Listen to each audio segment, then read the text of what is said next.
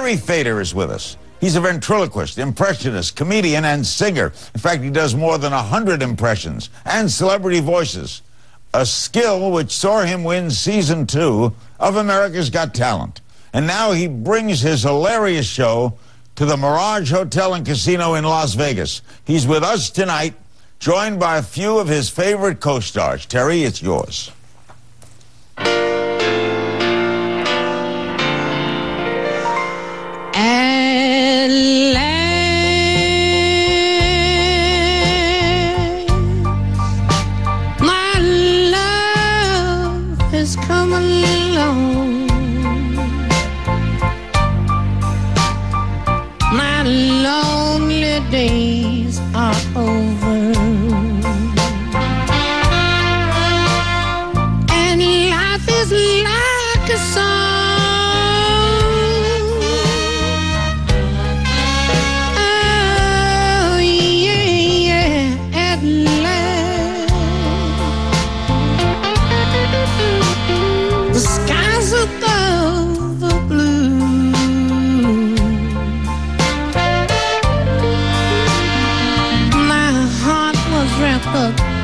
Clover.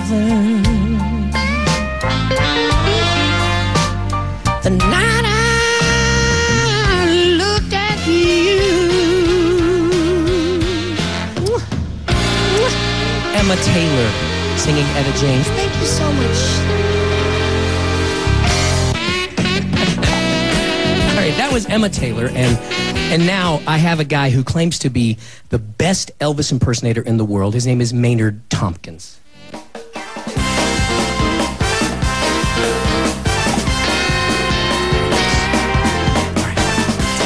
And Now, Maynard, uh, you, you told me earlier that you are the best Elvis impersonator in the world. That's right. It, it, it, I, I, I could, um, it, um, it, yes, I am. okay, so so what Elvis songs do you know? Actually, I, I don't, I don't know any Elvis songs at all.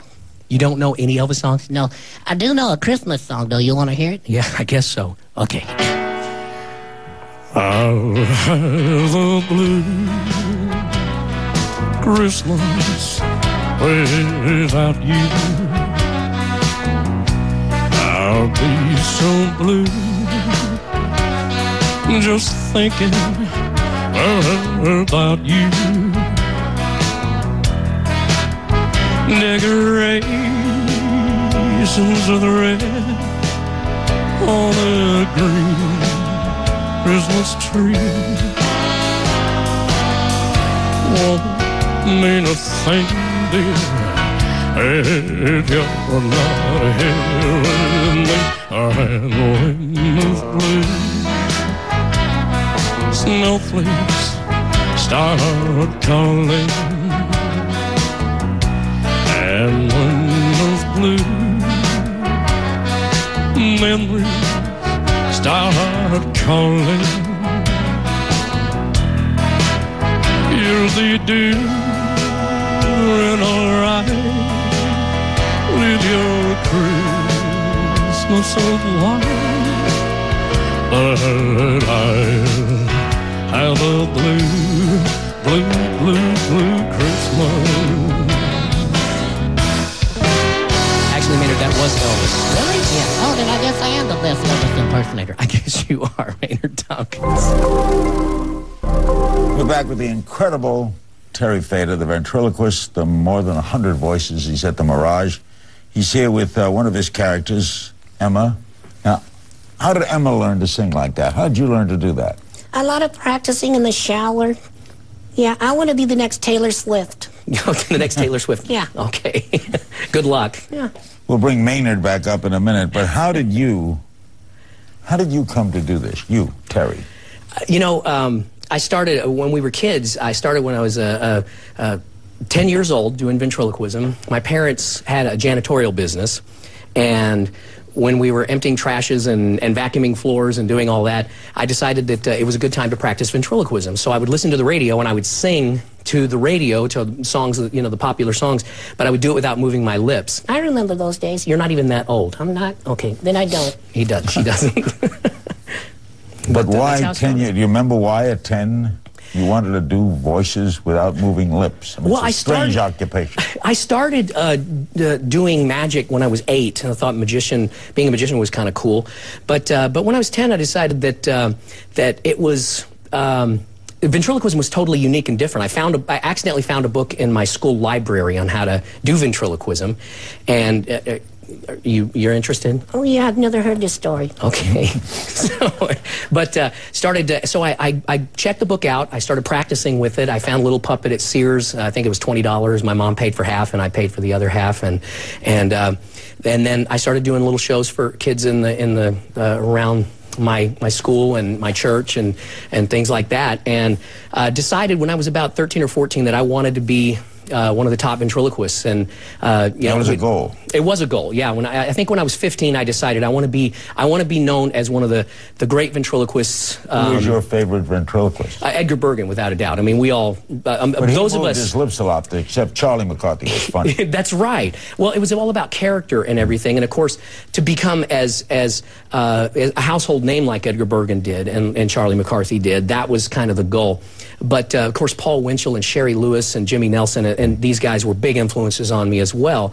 And I just decided when I was about 15 or 16 that when people thought of ventriloquism, I wanted them to put my name up there with the Edgar Bergens and the Paul Winchells and the uh, Jimmy Nelsons. And America's Got Talent, of course, made it for you, right? Absolutely. been knocking around how many years?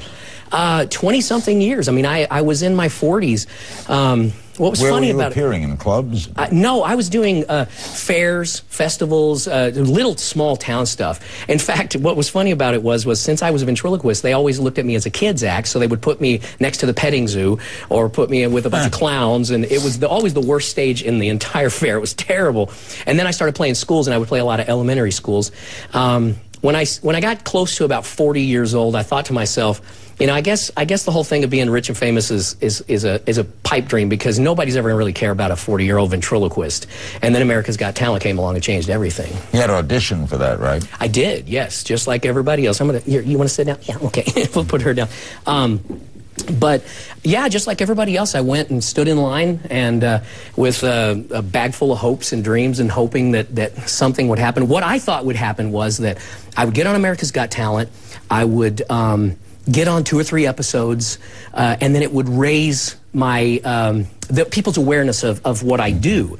I never in a million years thought I would win it. I thought there was no chance in anything that a ventriloquist could win America's Got Talent. I just said, not going to happen. But my goal was to get on and, and do things that would make people say, you know, I want to see what he's going to do next week. So I opened with, uh, with uh, at last, uh, Etta James, because I thought that was kind of unusual to be able to sing a guy singing Etta James without moving his lips. And then, and then I had this whole plan. I was going to do Tony Bennett. I was going to do um, Dean Martin. I was going to do uh, some of the other ones, uh, Louis Armstrong, Kermit the Frog. And so I had all these plans, and I thought if I can just get people to go to their phones and say, I want to see what he's going to do next week, and, and dial the phones and, and vote for me. It did work. And what won it for you? Um, Winston the impersonating turtle singing crying uh, as Roy Orbison. Did you expect to win when you got to that point? You know, um, I didn't. I didn't. And the main reason was because the, the guy who came in second was a guy named Cas Haley, a really great uh, reggae singer. And I was looking at YouTube, and I, I would I would see my um, YouTube stuff only had like 100,000 hits, and his had over a million. So I'm thinking, this guy's going to run away with it. There's no way I'm going to win it. But I was happy. I was like, I'm going to get, I, I might get second, you know. But I felt like that I had done a million dollar performance, and I felt like I had done a winning performance. Is Maynard down there? Yeah, yeah. You want to talk to Maynard? Here's Maynard. You Maynard. can put your voice down there, can't you? I can. Yeah. Hey, can you throw your voice? I can. Uh, how you do it? Okay, watch. I'll, I'll do an echo. Ladies, Ladies and and gentlemen. gentlemen. How do you do that? I have no idea. Here, let's set Maynard right here. Larry, is that Larry King? That is Larry King. I cannot believe it. How did you come up with who designs the puppets? This little I'm guy. not making um, fun of you, Maynard, but you're a puppet. No, that's okay. That's okay. No, I, don't take it I'm not an atheist. I know somebody designed me. okay. anyway, um, I don't even know what that means. I don't know, but it was funny. It was- no, um, Uh, this guy was was a guy that I uh, many many years ago, probably uh, 15, 20 years ago, I decided I wanted to have an Elvis impersonator in the show. Uh, I could do an Elvis voice, and um, so I called up uh, uh, a guy, uh, Clinton Detweiler, is a guy in uh, in Colorado. Yes, he's he's kind of the he's kind of the the uber ventriloquist. All ventriloquists know who Clinton Detweiler is. He ha- he was the guy who ran uh, Maher Ventriloquist Studios for years and years and years, and and He I called him puppets. up. He makes puppets, yes. So I called him and I said, I, I need this Elvis uh, puppet, and uh, he he had this guy, and he's and I bought this guy from him, and then after America's Got Talent and everything kind of took off, uh, I found out that I had to like own the rights to every single puppet, and I had this guy, and I had just bought him from from Clinton, so I I called him up and I said what do I do about this puppet? And he said, well, luckily, he's the only one I've ever sold. And so I actually bought the rights from, from, uh, from Clinton. Uh, uh, oh, it wasn't Clinton. It was, uh, there was another guy up in, uh, uh, I can't remember his name. Uh, anyway, it was another guy. But, but um, So you own this. yeah, I own him, yes. Yes. You feel like you're owned? Not at all. Because I have a lot of fun and and and and um and that's all. But I, I got this idea that it would be funny to have an, imperson- an Elvis impersonator that didn't know any Elvis songs. So uh, what he actually does in the show is uh, he, he sings an Aaron Neville song, and he thinks he doesn't know that you know that it's Aaron Neville. Now, but Aaron he- Neville's so hard. You do Aaron Neville. I'm I going to put you on the spot to do him now. I, I can if you want. Go do him a little, because I Aaron can't- I Neville can't. ain't easy. I- I can. right, do Aaron Neville. Look at this face. I know the years are showing. Look at this life. I still don't know where it's going. I don't know much, but I know I love you. So Oh, he there's does that in the show, and it's and it, it Uh, it's amazing how you. Are there some people you can't do? Uh, I'm sure there are. I mean, I, I'm, I'm having a, a really difficult time with Frank Sinatra, but I, I'll get there. I'm, I, I, I just feel like if I work hard enough on something, I can, I can get there. But one of these days, I'll do Frank. But And uh, you also, of course, have a great voice yourself. You sing national anthem at Dodger Stadium. Mm-hmm. But you're a singer in your own right. I, well, I, that's the thing is, is I, I have a joke in the show where I, I do a song and I say uh, uh, most people that have seen me on TV don't realize that I can sing, and it is true. It's funny because after the show, uh, I'll go out and sign autographs and talk to people and meet them, and people will say, "You sang that song by yourself? I didn't know you could sing." And I'm like, "Well, I'm a ventriloquist, and the, the puppets are singing." But I guess I guess that means I'm doing a good job if they don't know I can sing. I love that. You've told me that you you never miss a performance, right? I have never missed a performance. No, not in 20, 28 years, I think. You you worked through laryngitis. Mm-hmm. Everything. I have the best voice doctor in the world. He, he lives in Dallas, Texas, uh, and he is unbelievable. His name is Dr. Kirkham, and he works with uh, with uh, Mick Jagger and Axl Rose, and he And worked with Luciano Pavarotti. From America's Got Talent, you got the Mirage contract. I did, yes. I It's ten million a year for ten years. Is that true? Um, I'm not supposed to talk money, so I, I, I that's what I've heard.